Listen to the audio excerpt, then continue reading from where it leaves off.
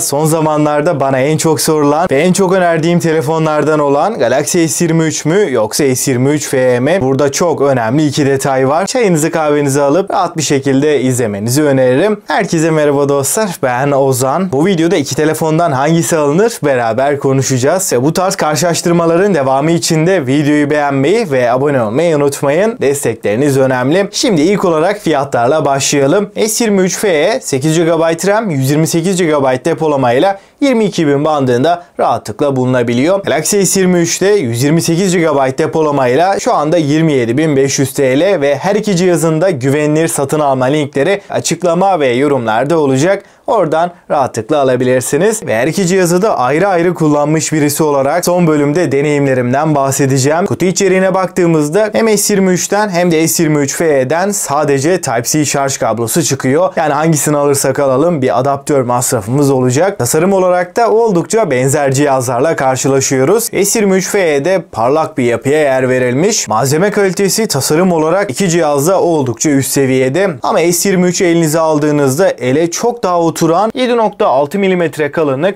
ve 168 gram ağırlığıyla da uzun süreli kullanımlarda da elimizi hiçbir şekilde yormayan bir cihaz. S23 FE ise kalın ve ağır bir telefon olduğunu net şekilde hissettiriyor. Telefonu gün içinde çok aktif kullanıyorsanız, telefon sürekli elinizde ise S23 FE elimizi yoran bir telefon. Yani kullanım kolaylığı açısından da kalınlık ve ağırlık yönünden de Galaxy S23 çok daha başarılı bir telefon. Ekran tarafında Galaxy S23 6.1 inç dinamik AMOLED Full HD Plus ve 120 Hz'lik bir tazeleme ile gelirken S23 FE'de de 6.4 inçlik dinamik AMOLED 120 Hz'lik bir paneli burada da görebiliyoruz. Her iki ekranda da HDR10 Plus gibi en üst düzey teknolojileri görebiliyoruz. Renk doğruluğu, kontrast oranı ve genel deneyim açısından da iki ekranda bir şeyler izlemek, telefonda vakit geçirmek oldukça keyifli. Gerçeğe çok yakın renkler alabilirken piksel yoğunluğu oldukça tatmin edici ve her iki ekranda gayet tepkisel çalışıyor. Parlaklık S23'te 1750 nitken S23 FE'de 1450 nite ulaşabiliyor. Dışarıda güneşli havalarda her iki ekranın parlaklığının da gayet yeterli olduğunu söyleyeyim. Aradaki 300 nitlik farkın çok bir artısı yok. S23'te S23 FE'de ekran kalitesinde tam olarak amiral gemisi düzeyinde ama iki cihaz arasında ekranlarda en önemli fark kalite değil. S23 FE'nin kalın çerçeveleri S23 oranına net şekilde göze batıyor. Ekran kasa oranında %5'lik bir fark olsa da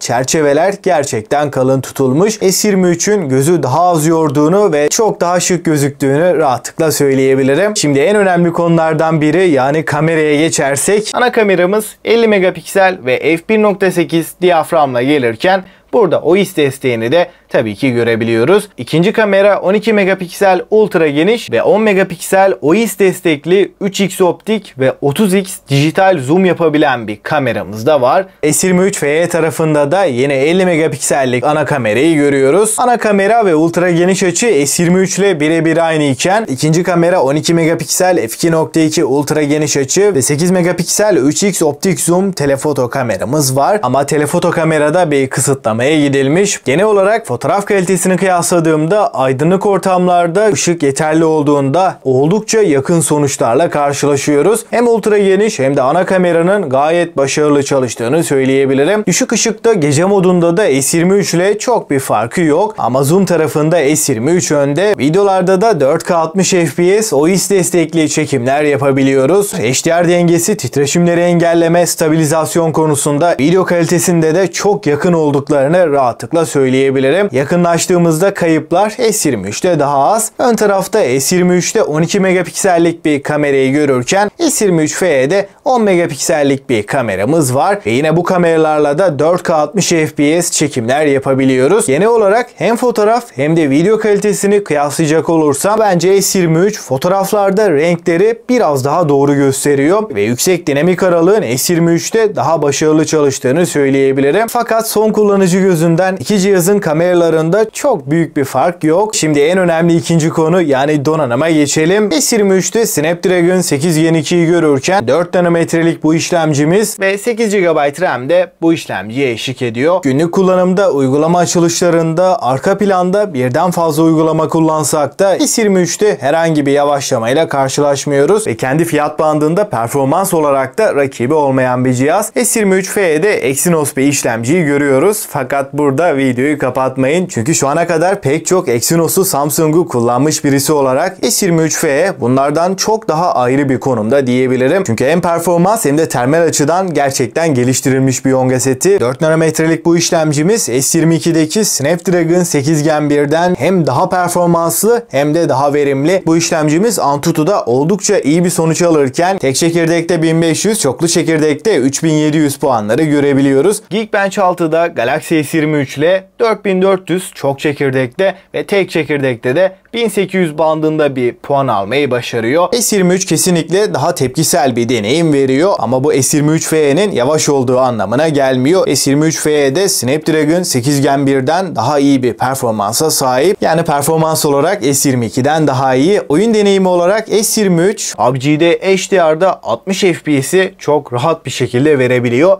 Burada stabilite, donma, kasma veya bunun dışında FPS drop'u açısından da hiçbir problemle karşılaşmadığımı çok rahatlıkla söyleyebilirim. Uzun süreler oyun oynadığımız zaman da evet telefonumuz ısınıyor fakat bu performansa hiçbir şekilde bir engel değil. S23 oyun performansı yüksek ve kompakt bir cihaz arayanlar için çok mantıklı bir tercih diyebilirim. Oyun deneyimindeki kararlılık Snapdragon 8 Gen 2 ile beraber S23'te gerçekten ayrı bir konumda. Ama S23 FE'de oyun deneyimiyle üzecek bir telefon değil. Burada Genshin Impact olsun, PUBG olsun 60 FPS bir oyun deneyimi alabiliyoruz. Ama yoğun patlama sahnelerinde grafiklerde detayların yüksek olduğu anlarda ara ara FPS düşüşleri olabiliyor. Eğer ben bir oyuncuyum ve oyun performansı benim için birinci öncelik diyorsanız S23 bu noktada bir adım önde ama genel bir kullanımda iki cihazın da gayet yeterli olduğunu rahatlıkla söyleyebilirim. Her iki telefonda 8 GB'lık RAM ile beraber geliyor. Arka planda 3-4 uygulamayı açtığımızda yani çoklu uygulamalarda iki cihazda başarılı. Batarya tarafında da Galaxy S23'te 3900 mAh'lik bataryayı görürken 25 Watt kablolu 15 Watt'ta kablosuz şarj desteğini görebiliyoruz. S23 FE tarafında 4500 mAh'lik batarya yine 25 Watt kablolu 15 Watt kablosuz şarj desteğine yer verilmiş. İki cihazın da kutu içeriğinden herhangi bir adaptör çıkmıyor. Batarya performansında Galaxy S23 ortalama bir kullanımda 6 saatlik ekran sürelerini rahatlıkla verebiliyor. S23 FE'de 7 saatlik ekran süreleri verebiliyor. Genel olarak batarya deneyiminde çok büyük farklar yok. Oyun oynamadan yoğun bir kullanımda S23 FE'nin batarya performansı S23'ten bir adım önde ama oyun odaklı bir kullanımda da S23 batarya olarak öne geçiyor. Yazılım tarafında her iki cihazımız Android 13 ve One UI 5.1 ile birlikte geliyor. Arayüzde menüde animasyon geçişlerinde gayet akıcı ve hızlı bir deneyim alabiliyoruz ve iki cihazın da 4 yıl Android 5 yıl güvenlik güncellemelerini alacağını belirteyim. Yani güncelleme konusunda da herhangi bir problem yaşamayacağız. Hoparlör kısmında iki cihazda da stereo hoparlörleri görebiliyoruz. Ses kalitesi olarak iki cihaz birebir aynı diyebilirim ama S23F daha büyük bir cihaz. Buna bağlı olarak hoparlör boyutu da büyüyor ve ses yüksekliğinde S23FE'nin biraz daha önde olduğunu söyleyebilirim. Kablosuz bağlantılarda da Wi-Fi 6'ya, Bluetooth 5.3, 5G gibi en güncel teknolojileri görebiliyoruz. Güvenlik kısmında da her iki cihazda ekran altı parmak izi okuyucumuz var. İki cihazın parmak izi okuyucusu da hızlı, tepkisel bir şekilde çalışıyor. Suya ve toza karşı dayanıklılıkta da her iki cihazda üst seviyede IP68 sertifikasıyla 1,5 metre suya 30 dakika boyunca dayanabiliyor. Dostlar şimdi son bir değerlendirme yaparsak S23 genel toplamda daha başarılı bir cihaz. Özellikle kompakt yapısı, performansı ve kameranın zoom tarafında S23 net şekilde önde ama iki cihaz arasında deneyim olarak çok bir uçurum yok ve fiyat avantajıyla büyük ekran isteyenler için de S23 FE gayet mantıklı ve kamera performansında iki cihazın da kendi fiyatlarının en iyisi olduğunu rahatlıkla söyleyebilirim. E şu anda aralarında yaklaşık 5500 TL'lik bir fark söz konusu ve her anlamda tam bir amiral gemisi istiyorsak bu farkı verip S23 almaya kesinlikle değecektir. Ben burada her iki cihazın da fiyatlarını net şekilde hak ettiğini söyleyebilirim. Peki sizce S23 mü yoksa S23 FE mi? Görüşlerinizi mutlaka bekliyorum. Ve bu karşılaştırmaların devamı için de videoyu beğenmeyi ve abone olmayı unutmayın. Ben Ozan ve bir sonraki videoya kadar